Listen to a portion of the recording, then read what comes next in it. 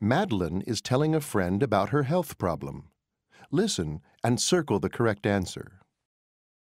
I woke up with an awful ache in my right ear yesterday morning. I'm trying to lose weight, so I've been swimming every day for two weeks now. I've never had any earaches before. My ear really hurts. I think the water may not be good for it. Anyway, I put some drops in my ear, and that has helped a little bit. I'm still going to go to the doctor tomorrow, though.